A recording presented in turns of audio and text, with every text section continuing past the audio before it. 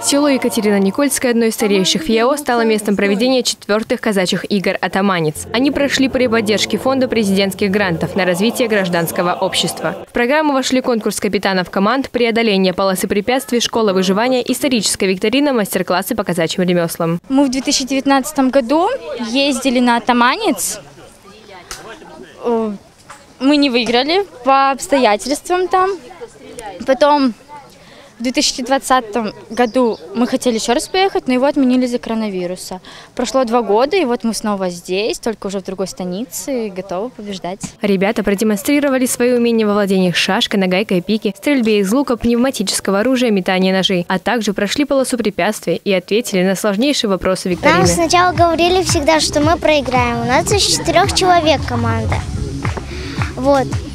Когда был конкурс капитанов, этот командир, он говорил, что я, э, за мной будет победа на всех конкурсах. Оказывается, мы идем вперед. Юные казачата прошли школу выживания. Строили укрытия, разводили костер, ловили рыбу из самодельных удочек и варили уху даже самые маленькие участники соревнований. Больше всего понравилось на фланкировке шашкой, нагайкой, пики. Потом у нас была рубка лозы, тоже хорошо выделились. Все на отлично. Место замечательное. Соревнования соревнованиями, но дружба превыше всего. Ребята с разных регионов, разные по возрасту, не похожие друг на друга, нашли новых друзей и сплотились в единое братство казачества.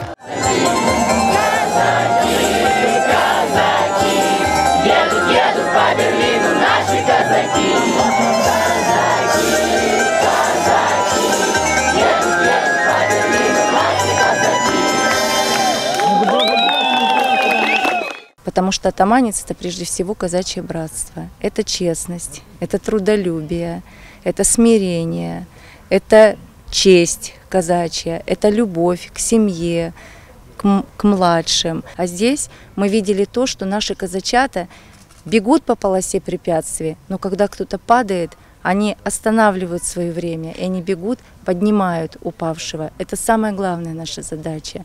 Больше нам ничего не надо. Подготовка к играм в этот раз заняла два года. Из-за пандемии соревновательный этап «Атаманца-2020» был перенесен на 2021 год. Однако образовательную часть все же провели в 2020 году во всех районах области. Официально были поданы 26 заявок, но перед самим проведением игр несколько команд было снято по объективным причинам. Однако география соревнований значительно расширилась. Съехались команды почти со всего Дальнего Востока – Приморский и Хабаровский край, Амурская область и, наконец, вся еврейская автономия. В отличие от прошлых лет, свои команды на Атаманец 2021 выставили практически все станицы нашей области. Дети ждут этого. Дети ждут, они каждый раз, каждый год нас э, после игр, уже начиная, при- приезжаем домой, они уже спрашивают про эти игры. И будет неправильно и нечестно перед ними, прежде всего, когда мы говорим, что это ежегодные игры, да, не проводить эти игры. Они ждут, они готовятся, они этим живут. Один из дней Атаманца особенно запомнился своей торжественностью. 17 июля, в день царственных страстотерпцев, возле Поклонного креста, где стоял храм, в котором ровно 130 лет назад молился царевич Николай, совершили чин прибивки знамени Амурского казачьего войска к древку. По словам духовника Среднеамурского окружного казачьего общества, Атаманец не просто соревнование, не просто умение владеть казачьими видами спорта. Это еще большая духовная составляющая. На этом мероприятии мы в первый раз.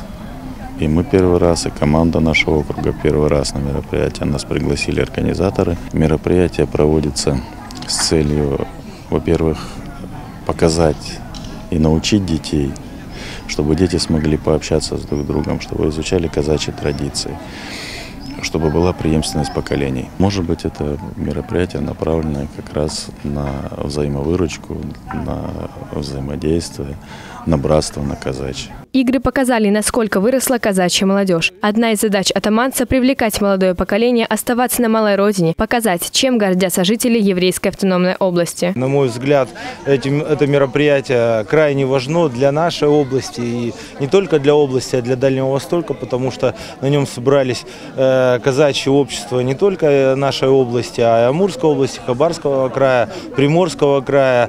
Э, они представлены детскими командами, да, то есть это же все-таки игры. И очень радостно, когда есть преемственность поколений, историческая преемственность. Организаторы атаманцы совместно с атаманами ближайших станиц уже вынесли на обсуждение создание в области казачьего колледжа и школы. В регион привлекают людей, умеющих вести образовательную деятельность в данном направлении. Виталина Оводова, Богдан Патрин, Новости 21.